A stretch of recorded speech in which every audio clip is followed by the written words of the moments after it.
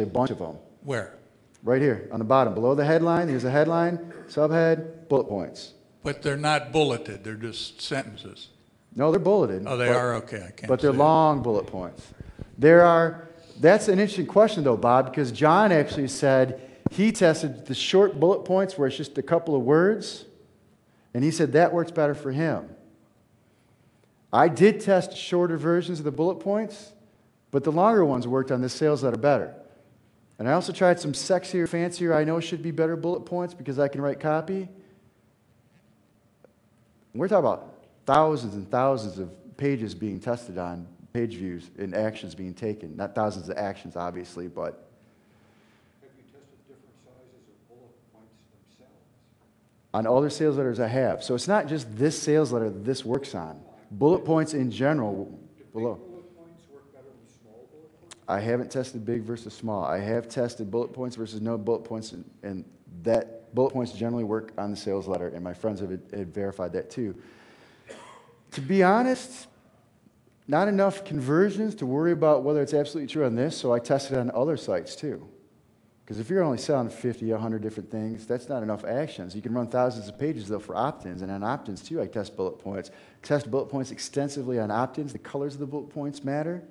The length of the bullet points matter, the placement of the bullet points all matter, and that's all in the DVDs you have in your possession. Have you tested the uh, number of words in your headline? I've had copywriters Nope. tell me that 18 or less uh, works better, but I see up there you have a heck Yeah, of a lot of them. well, Frank believed that too. But from the testing I could do on the opt-in and also on the sales page, the longer one worked. I generally believe that a shorter one is better because they can digest it sooner. But this is actually a combination of methods used by John Carlton and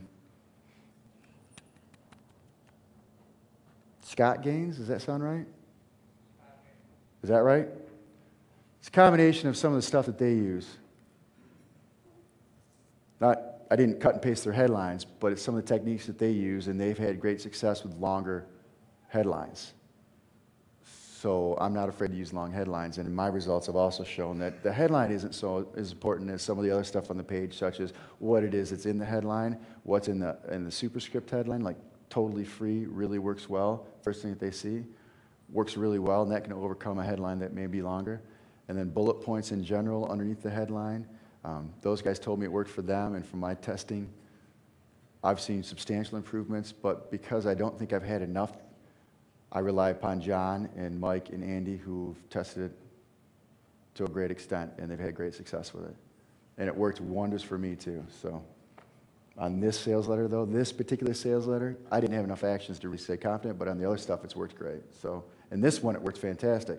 But then I deferred to John and Andy. Andy was actually selling product for years, and so was John, and they've had thousands of actions taken upon the bullet points placed on the page. And I've tested shorter versus long, and other on my, on my opt-in pages, I've tested different color bullet points, short ones, long ones, and it's not always the same. So, no headlines. Any questions about this? I just want to give you guys some quick conversion technique stuff. People had said they wanted that. So there's a whole ton of this stuff on the DVDs for the, that I've given presentations in the past that I gave you guys already. So please see Getting Started with Traffic King Pro DVD sets, disc one, two, three, and 4 for email marketing. I went into a great deal of email marketing, conversions, test results, also on-page usability studies, eye tracking. TKP Getting Started DVD sets 1, 2, and 3. Great deal of product creation and market research. Also see the video tutorials on the affiliate marketing, product creation, and promotion. That's just a long way of saying it's on your video training disc also. So all product creation market research, linking, all that stuff. You, I gave you guys over 30, if you stay until the end, well over 30 DVDs of me presenting, sometimes just me for days, including this weekend, which wasn't just me necessarily, but you have plenty of my thoughts on email, my test results, conversions,